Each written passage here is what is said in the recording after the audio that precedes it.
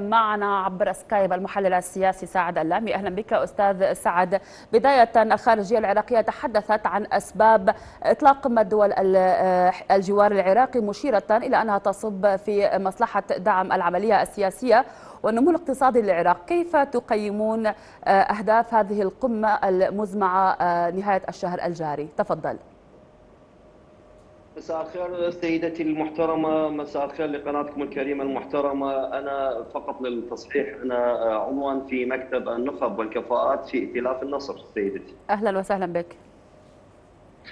طيب الحديث عن دعوة العراق والحكومة تحديدا حكومة السيد الكاظمي إلى عقد مؤتمر لدول جوار العراق في العراق بالتأكيد دعوة مهمة و يعني بشكلها العام بشكلها الظاهري هو يعني الحقيقة دعوة إيجابية، العراق بدأ يستعيد عافيته في أن يكون لاعبا اقليميا شرقا شرق اوسطيا ودوليا في نفس الوقت ومؤثرا في المعادلة السياسية التي ترسمها يعني كبريات الدول العالمية وعلى رأسها الولايات المتحدة الأمريكية للشرق الأوسط بشكل خاص. و للعراق طالما أن الولايات المتحدة الأمريكية هي من دعمت وساعدت في موضوع تغيير النظام السياسي في العراق. ولكن السؤال هل إن العراق سيكون لاعبا مؤثرا وحاسما في هذا المؤتمر؟ بمعنى هل سيتمكن من أن يقدم ملفاته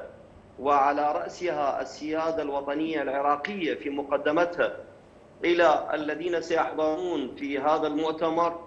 والسؤال الآخر هل الرؤساء الدول التي تم توجيه الدعوة إليهم سيحضرون وهم يحملون في طياتهم وفي ملفاتهم وتحت طاولاتهم العديد من الملفات الخلافية مع أقرانهم سواء كان يعني على سبيل المثال العلاقة المتوترة ما بين السعودية والجاره إيران ما بين يعني حتى علاقة السعودية المتأزمة مؤخرا مع الإمارات هل ستلقي بظلالها مثلا على حضور السعودية في المؤتمر علاقة طيب. السعودية بالكويت علاقة الكويت بإيران علاقة تركيا بالسعودية والتوافق الموجود القطري مثلا مع قبل أن يكون هناك توافقا سعوديا تركيا. اذا الملف معقد الحقيقة. حتى دعوة حتى حضور يعني هناك يعني طلب تم تقديمه من قبل الرئيس الفرنسي لحضور هذا المؤتمر نعم. في الوقت الذي لم يتم تقديم الطلب من طيب برأيك يعني الرئيس الفرنسي فرنسا ستمثل ستمثل نفسها وكالة عن الولايات المتحدة الأمريكية أيضا؟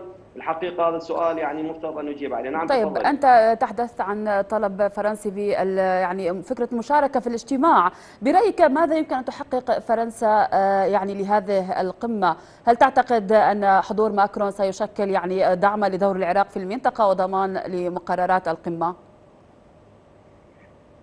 لا في الحقيقة مو يعني تحمل عدة أوجه الطلب الفرنسي يحمل عدة أوجه.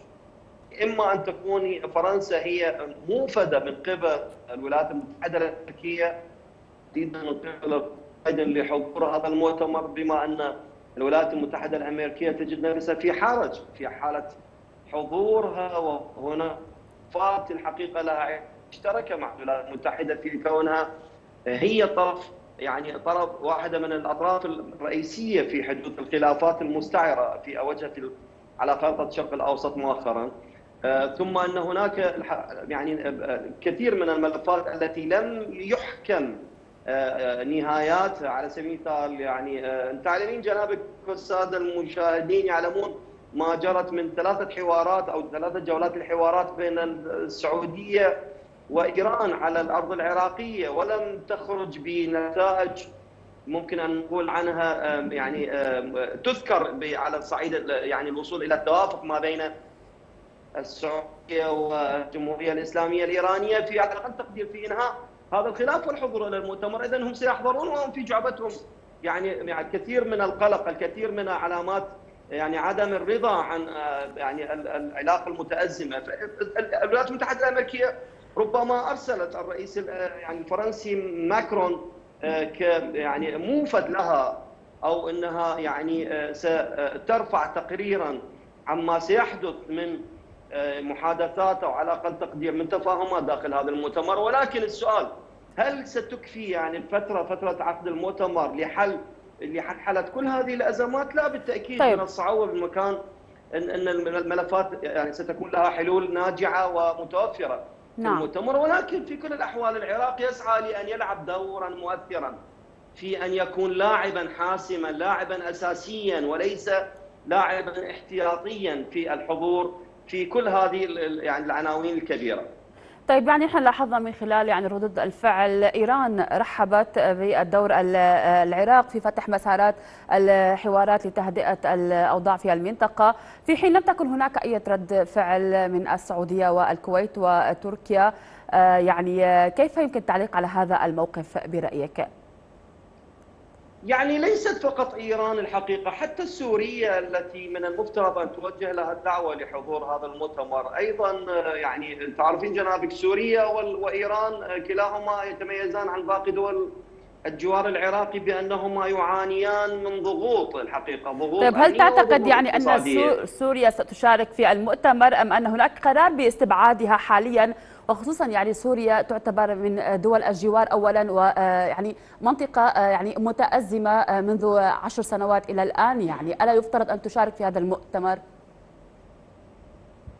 يعني سؤال ذكي من جنابك يعني أنت تشيرين إلى يعني في طيات سؤالك إلى لماذا العراق يتبنى هذا الدور؟ لماذا يلعب الدور الحقيقة الحكومة العراقية والعراق بشكل عام الآن يريد أن يلعب دور الهوست المضيف هذا المؤتمر. بالتأكيد العراق يدرك تماما أن ازماته الأمنية التي تصل إليه وكثير من التفاعلات التي تجري في الملف الأمني هي بسبب يعني التدخلات الكبيرة من قبل كثير من دول الجوار العراقي. بل أن يعني كل اللعبة السياسية التي تعنى برسم خارطة النفوذ والسيطرة للشرق الأوسط تجري على الأرض العراقية.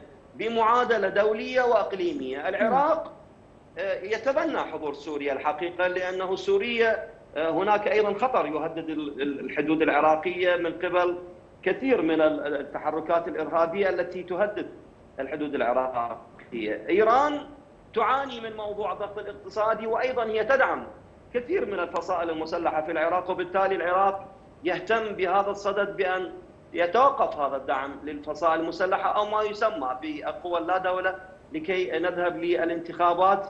ونحن مطمئنون من أن الجانب الأمني على أقل تقدير الحكومة العراقية توفي بتعهدها بتوفير الأجواء الآمنة للصناديق الاقتراع في العاشر من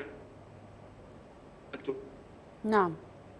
تركيا تشكل ضاغطا مائيا على العراق بمعنى الإيقافات المائية وحتى بالمناسبة حتى إيران الحقيقة لعبت هذا الدور مؤخرا بأنها أوقفت الواردات المائية ولا بد من الوصول إلى اتفاقيات يعني وتحت رعاية دولية على أقل تقدير فيما يخص الدول التي تشترك في مصادر المياه نعم. أو ما تسمى بالدول المتجاورة على على الأنهر، العراق يعاني من تركيا وإيران بصدد هذا هذين الملفين، العراق يعاني في موضوع أن الطاقة الكهربائية الحقيقة لا زال ملف ساخن وهناك استهدافات لابراج الطاقة الكهربائية مؤخرا ربما حتى آه، يعني أذرع إقليمية تلعب دورا في هذا التخريب نعم. المتعمد نعم. هذه كلها حقيقة ملفات كبيرة ولهذا أتحدث عن هل يتمكن العراق والحكومة العراقية من من أن يعالج كل هذه الملفات على طاولة المؤتمر دفعة واحدة؟ لا في الحقيقة نستبعد أن يحصل ذلك. نعم. الأستاذ سعد اللامي المحلل السياسي أشكرك جزيل الشكر لانضمامك إلينا.